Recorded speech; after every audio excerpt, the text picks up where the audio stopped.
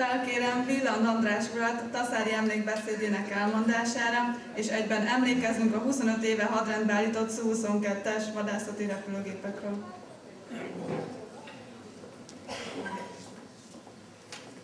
Köszöntöm a találkozó résztvevőt. Röviden szeretném köszönteni velük Taszár. Jó. Taszár helyőrség a magyar katonai fellegvára 1936 és 2005 között adott helyet katonáink. Sohagyi megyeszékhely melletti település mai napig ezer szával kötődik a magyar honvédséghez. A repülőterének polgári célú hasznosítását évek óta tervezik, de sajnos csak tervezik hidegháborús időszakban a Magyar Hadsereg fejlesztés keretében légére meghatározott tényezőt képviselt, ezért többek között határozat születik a reptér újjáélesztéséről. Építésére 1300 fő munkaszolgálatos vezényelnek a területre, 51-52 között. Az épülő repülőtér parancsnok a Barta Ferenc hadnagy volt. Az új létesítmény elsőként 1950. november 11-én a Tököl Szilágyi telepen megalakult 50. vadászrepülő ezred vette birtokba. 52-58 november között, mint magas segítség, a 25. határszereplő hadosztály átült, melynek taszári alárendeltjei az 50. és a 35. vadászrepülő elvedek voltak. Az 52-ben átadott repülőtér új parancsnok a Pápai Gyula százados volt. 54-től Vörös Marti Béla vezette a ezredet. 55-től Somogyi Ferenc százados, 56-től Horváth Jenő százados.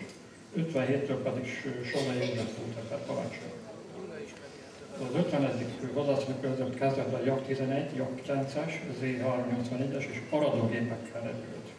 Ez a, valamint Jak 18-assal. Azt mondja, hogy 58. november 1-re került megalakításra a 31. kori vadászrepülőezred Varga József és parancsnokságában, akit 64-ben Búzás Inderőrnek váltott. Jelentős esemény volt az ezred életében 91-92-ben, nagy sikára megrendezett repülőnapok szervezése. Az eddig csak filmekből és újságokból ismert repülőgépeket közel a vendégek. Ekkor alakult meg a legrátermettebb pilótákból a Sky Hussars elnevezési csapat. Először 99-es repülőnapon Tasszáron, majd pedig egy meghívásnak köszönhetően Fairfordban a repülő, nemzetközi repülő találkozóan mutatkoztak be nagy sikerrel. De sajnos a karangáncoskodás, az akkori katonai vezetés merev elzárkózása nem tartotta életeltételőket. MiG-21-esek és a Su-22-es típusok összevonásával 1992-ben Balogh Imre ezredes parancsága alakult meg a Kapos 800. vadászrepülő ezred. 95-ben Kasper József ezredes vette át a parancsnokságot. 31. Kapos 800. repülőezred vezérkari főnök 96. december 15-én hadrendből kivonta, a 97. április 30-án megszüntette és által egy időben megalapította a Kapos bázis repülőteret, aminek parancsnok a Pintér Zoltán ezredes volt. 5-2000-ben kismeretek Sándor ezredes váltotta. A repülőtér felszámolását és bezárását már Karanc János ezredes vezetésére bonyolították le 2005. december 31-én. Így tettek lakatot egy nagy hagyományra rendelkező település katonai pályafutására. A és röviden a szóvajokra is szeretnék egy pár szót. Magyarországon a 80-as évek elején döntöttek a szárazföldi csapatok harcát támogató repülőgép leszerzésről, amelyben végül 14 darabot rendszeresítettek. A típus üzemeltetésére ugyanan létrehozott 101. felderítő repülőszázad, amely a szárazföldi csapatok alárendeltségbe tartozott bázisában, a taszári repteret jelölték ki. További szólyok beszerzése is szerepelt a tervben, de a romló gazdasági helyzet ezt már meghűsította. 983. novemberében szálltott le a szovjet A-12-es taszára fedélzetükön egy részben székszerelt szója, amelyek a következő évben álltak csapatszolgálatba, de nem a légierő, hanem a szárazföldek a lerendeltségében. A taszári 31. ezer 3 21 százada mellett megfértek a. A repülőgépekkel együtt légierőnk történetében egyedülálló fegyverordinátos rendszert tettek a 12 darab szó és a 3 darab kétüléses szóló számára. Ez volt az első olyan típus, amelynek fegyverzete mennyiségi szempontból már összemérhető volt egyes hasonló feladatú nyugati típusokéval. A szúlyok több század Több hadgyakorlaton is bizonyították felkészültségét és egy típus alkalmazhatóságát. A robusztus felépítésű változatos fegyverlettel felszerelt, felderítő csapásmérő és egyébként alkalmazható repülőgépek a magyar néphadsereg egyik legnagyobb harcértékű technikai eszközei voltak. A rendszerváltozást követően a magyar honvédség átkereszt, és átkereszte a haderő a magyar honvédséget is átkeresztelték. Az önálló csapatrepülő parancsnokság megszűnt, alakultak a válogattak a légierőben. A Taszárán állomásozó szuhoj szolgálat is visszavonták a szintén ott települő kapos arcát repülőzetben, amelynek onnantól kezdve a 30. századat képezte. Nagyon gépek 1990-es évek közepére elérték az 1200-1300 óra repült időt, így nagy javításuk szükségessé vált. Nagyobbítása először a 08-as gép került a Szovjetunióba, a többi gép javítását itthon végezték el. A Dunai repülőgépgyár meg is kezdte a javítást, de a hatodik gép elkészült, utána a programot leállítottak. A gépet nagy része elkészült, összesítve kb. 600 millió forintos költséggel, mert kisartok egy újabb reformjuk és következtében kivonnak a típust a hadrendbe. A politikai vezetés ugyanúgy döntés hozott a Taszári város NATO részén történő átadására, és ezzel párhuzamosan az utállomásozó alakulat átállítéséről, meg feloszlatására.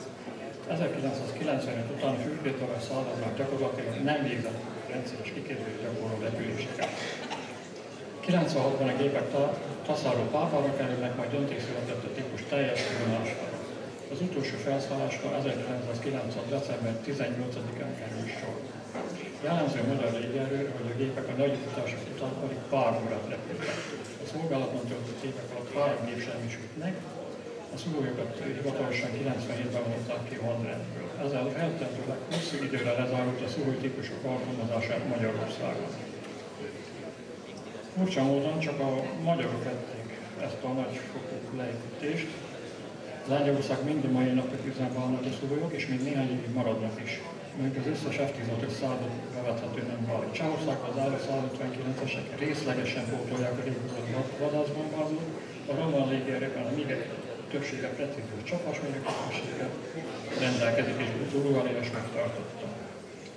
Csak nem mindenhol fontosnak tartották az irányrend képességek fenntartását, ritka között a Magyarország, amely példanélkül mértékben redukált hadseregének évszámát és képességét, különösen a légierők és a légvédelem terén. Mindez még a Grippenek hadrend választása ellenére is igaz. A légtér szuverenitásának biztosítása után felvétel magasabb szintre emelkedett, viszont a nélkülözhetetlen csapásmérő kapacitást a korszerűtlen nevelő rakéták csak erősen korlátozott mértékben pótolják. Nem szentségtörés kijelenteni, hogy mérelő rajta új fegyverek sem pontosságban, sem pusztító erőben nem tudnak többet a szuvajok kívánt fegyvereknek. Ugyanúgy időjárás függőek és egy sor feladatok alkalmatlan.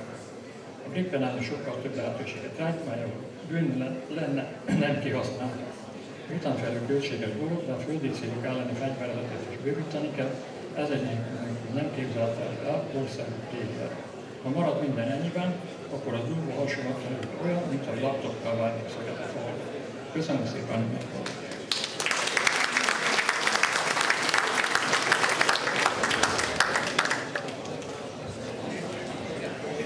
Köszönjük szépen!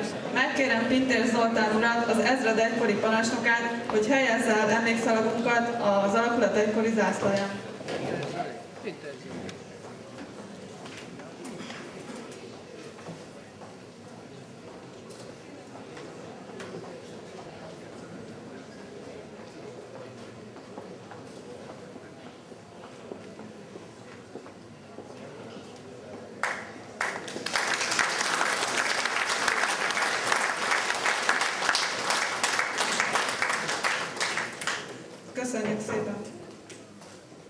Műsor részünk zárásaként hallgassuk meg a szózatot.